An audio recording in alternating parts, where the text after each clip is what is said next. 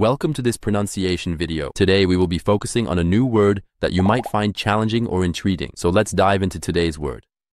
Cordon, which means A line of people or objects placed around an area to enclose or guard it. Let's say it all together.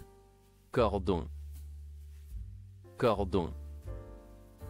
Cordon. One more time. Cordon. Cordon.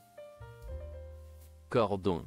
Thank you for joining us on this adventure in pronunciation. Remember, language is a journey, not a destination. Keep exploring, experimenting, and expanding your linguistic horizons. We'll see you next time.